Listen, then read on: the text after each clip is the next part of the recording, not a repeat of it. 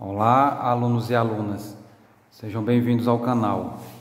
Aqui é o professor Gustavo Lima com a videoaula Visita Técnica ao Laboratório de Comandos Eletropneumáticos e Eletrohidráulicos. Bem, turma, essa aqui é a infraestrutura do Laboratório de Comandos Eletropneumáticos e Comandos Eletrohidráulicos. Os comandos eletropneumáticos utilizam o ar comprimido como meio de transmissão de energia, enquanto que os comandos eletrohidráulicos utilizam o óleo hidráulico.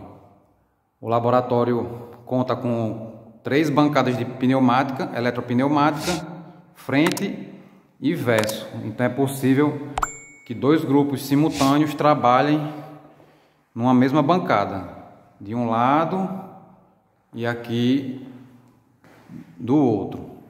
Então, para a eletropneumática é possível ter três bancadas, seis grupos simultâneos realizando montagens aqui. Enquanto que a eletrohidráulica só temos uma bancada, só temos um, um conjunto de acionamento hidráulico, mas com duas saídas. Então, a princípio, teria como atender dois grupos simultâneos. Então, vejam que a estrutura hidráulica é bem mais robusta para suportar a pressão do óleo, mangueiras maiores, válvulas, cilindros, em comparação com os equipamentos da pneumática, mangueiras mais finas, cilindros menores mas que atenda aos objetivos do, da disciplina. Também temos aqui cartazes com ilustração, ilustrações dos dispositivos, bem interessante aqui, diagramas pneumáticos, aqui informações sobre dispositivos armários e carteiras para a disciplina, o desenvolvimento da disciplina.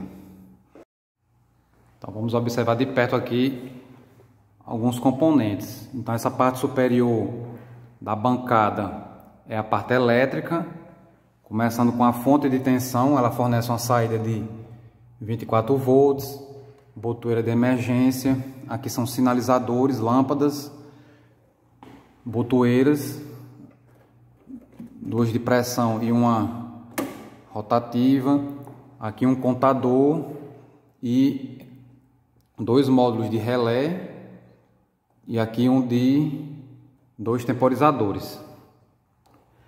Aqui é a, a entrada de pressão, distribuidor e aqui a gente faz, realiza a montagem. Temos dois tipos de cilindros. Cilindro de acionamento simples, que só tem uma entrada, e acionamento duplo. Para avançar, tem que dar um comando, para retornar, tem que ter outro comando. E nas gavetas, o material para uso: mangueiras, regulador de velocidade, diversos tipos de válvulas válvulas pneumáticas. Aqui são as eletroválvulas, porque ela tem as solenoides para abrir e fechar a passagem do ar. E mais, e mais os sensores. Aqui do lado temos uma montagem pronta. Como eu falei, tem um modelo com duas entradas de cilindro e aqui a parte elétrica montada para testar. Ficou com alguma dúvida? Poste no mural do Google Sala de Aula ou mande por e-mail. Fico por aqui. Até a próxima. Um forte abraço.